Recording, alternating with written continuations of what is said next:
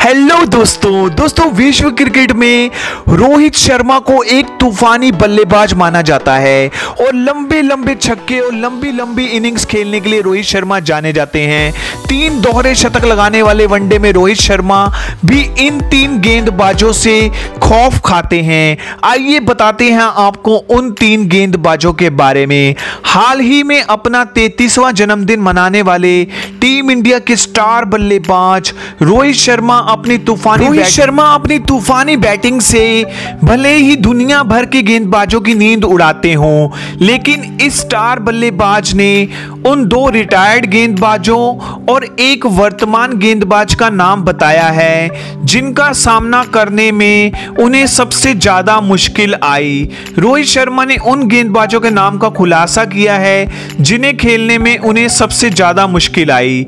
रोहित ने star sports के एक शो में बताया कि पहले गेंदबाज हैं ब्रेट ली क्योंकि उन्होंने मेरे को 2007 के टाइम काफ़ी परेशान किया था। 2007 के ऑस्ट्रेलिया दौरे के दौरान पिछली रात को मुझे सोने नहीं दिया था, क्योंकि मैं सोच रहा था कि उस गेंदबाज का सामना कैसे करूँ, जो 150 किलोमीटर प्रति घंटे की रफ्तार से गेंदबाजी करता है।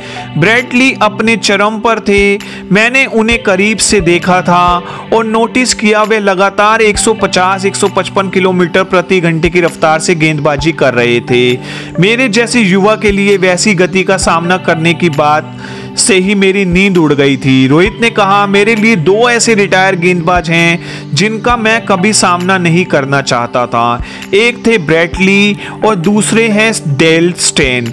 मैं कभी भी स्टेन का सामना नहीं करना चाहता था, क्योंकि गति और स्विंग के साथ खेलना किसी बुरे सपने से कम नहीं था। ये सच है और वास्तविक ये सच ही है कि मैं इन दो गेंदबाजों से काफ़ी डरता हूँ।